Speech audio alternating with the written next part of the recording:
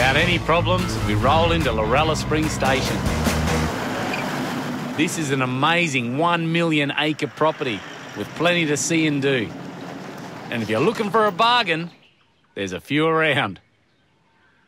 We meet up with old mate Rhett Walker, who's just come through what anyone would call a pretty rough patch. Well, Rhett, it's been a long time since I've been out here. Yeah, it has. I'm glad you're back. Thanks, mate. But you were telling me that you had you had this horrific injury. Yeah, lucky to be alive. You pretty much thought you were going to die.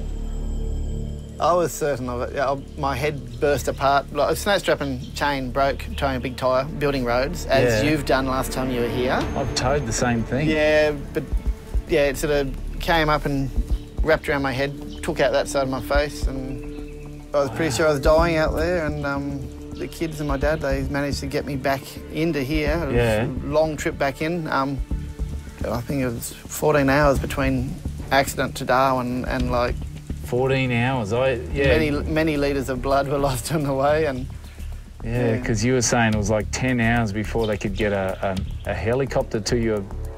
because of where we are and the problems with like the chopper had to fuel up and then the plane couldn't land on the strip and all sorts of dramas but yeah um, So it really sort of set in a bit about how how isolated. remote we are yes Um, Yeah. the people that flew in to help us said we're the most remote it was the most major extraction they've ever had to do No kidding.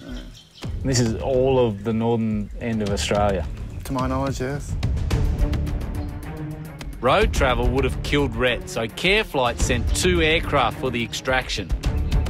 A helicopter that had to refuel twice just to get here, and a plane that had to land at another airstrip.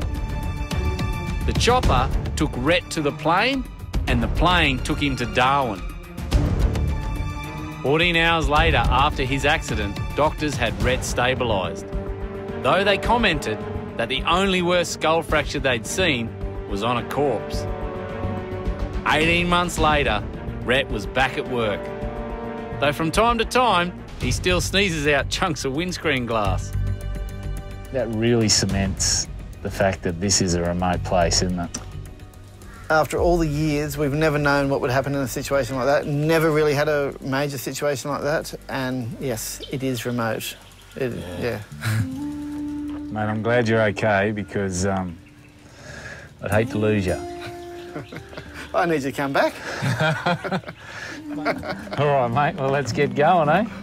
There's a saying up here territory tough. And if you want to know what that looks like, well, our mate Rhett is a living example.